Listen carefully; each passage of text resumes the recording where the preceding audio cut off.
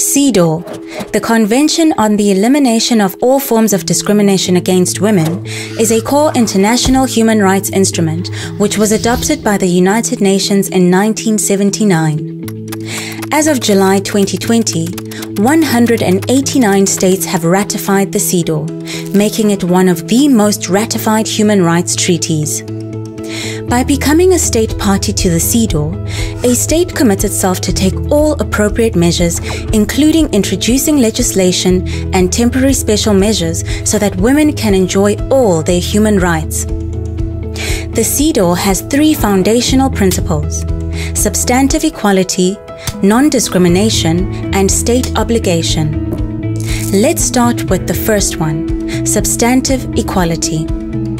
In many countries, women continue to live in a society where men wield the primary power and occupy roles of political leadership, moral authority, and social privilege. Women occupy a considerably disadvantageous position in comparison to men. Substantive equality recognizes these unequal positions and seeks to address them by ensuring equality of results.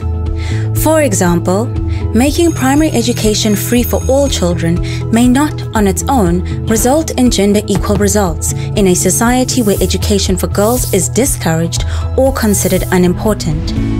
States should implement additional measures, such as incentives for families to send their daughters to school and making sure that girls can safely and easily attend schools.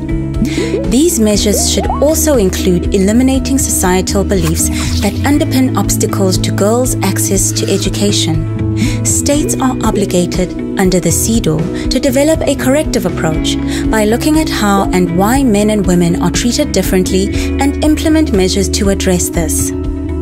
Now let's move on to non discrimination. Gender based discrimination can be both direct and indirect.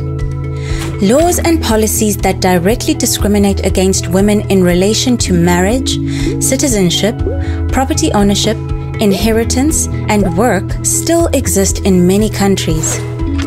Indirect discrimination occurs when laws and policies that appear to be applicable to both men and women turn out to be discriminatory because of culture, tradition, religious practices, and or other measures that claim to protect women but actually end up being an obstacle to women. For example, there is indirect discrimination if a policy at work requires that in order to be promoted as manager, one has to take on night shifts.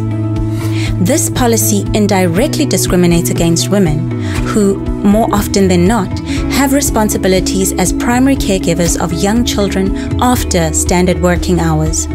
The state is obliged to identify, prohibit, provide redress, and prevent all forms of discrimination against women both on paper and in practice.